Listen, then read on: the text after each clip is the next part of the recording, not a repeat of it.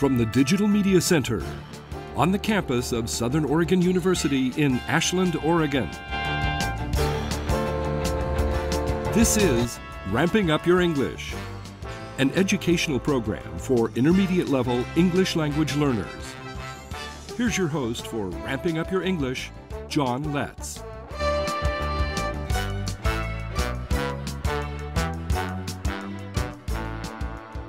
Welcome to Ramping Up Your English. Winner of the Southern Oregon Television Award, Program of the Year, and the Best Education Show in 2017. I'm the producer and host, John Letts. Ramping Up Your English is an instructional support program, uh, program for intermediate level English learners. Now, if you've already passed those beginning stages of learning English and you want to reach higher levels of English proficiency, this program is designed to meet your needs and get you closer to your goal. Ramping Up Your English is for English learners from all language backgrounds and for people of all ages.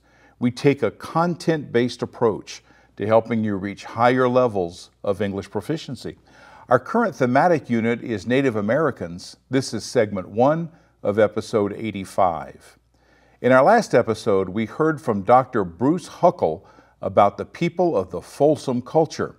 In this unit, we'll listen to many stories we ask who is telling the story and why are they telling it.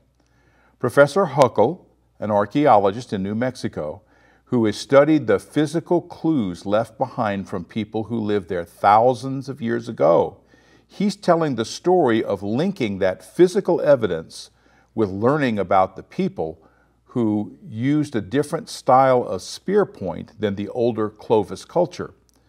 Now, forming hypotheses and theories from physical evidence is a science based approach to understanding the world in which we live. Thus, I can say that the professor is seeking truth and sharing what he's learned.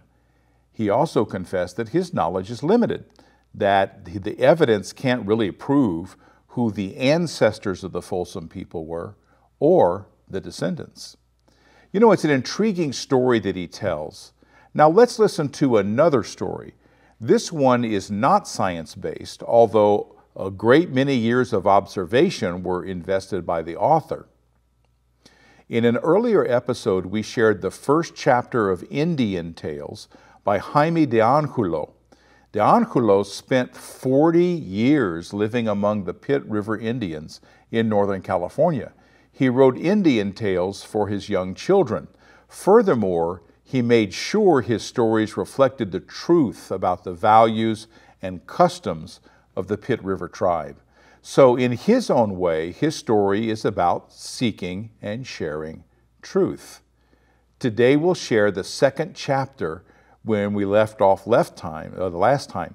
This family of bear, antelope, fox, and baby quail had just gone to sleep after a day of traveling toward the coast. Let's listen to what happens in this short chapter. The next morning, Bear woke up early, long before the sun was up.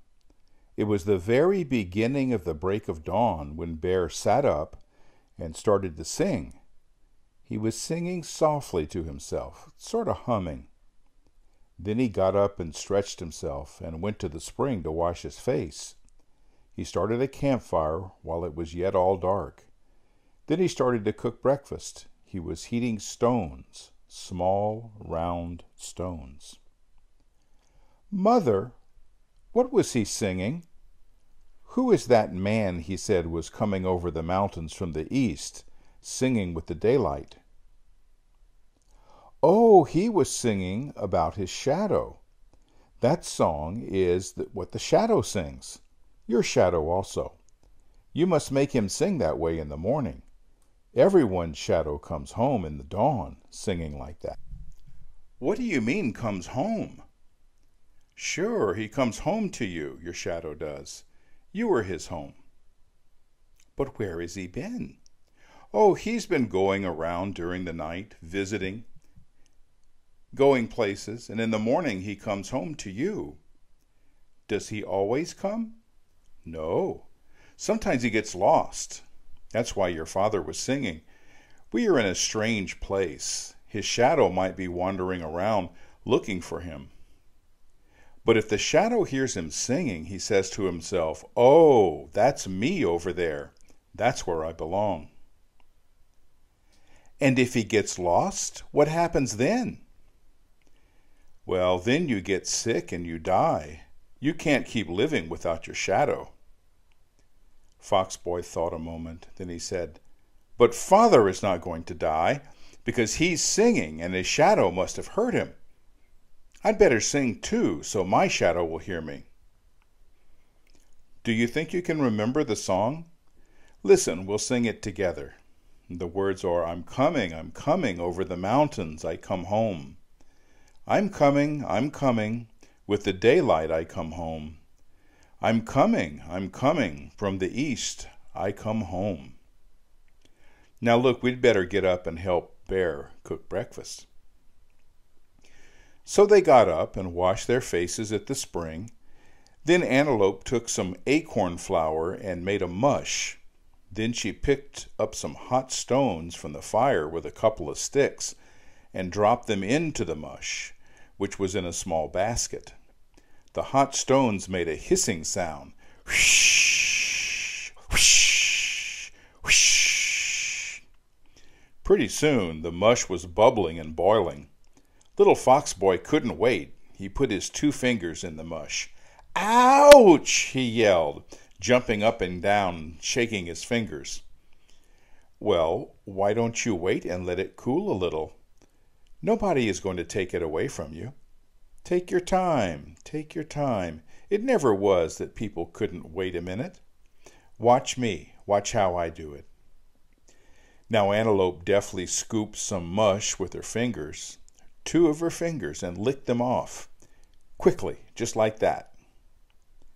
That's the way to do it, she said. Oh, I can do that myself, said Fox. He was so quick that he smeared his nose with the mush, and they all laughed.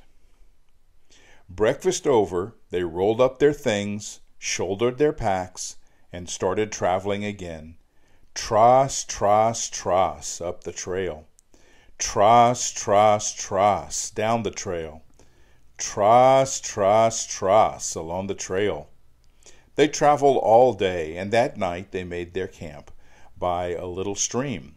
And Fox Little Boy crawled in between Bear and Antelope under the rabbit skin blanket and was soon fast asleep.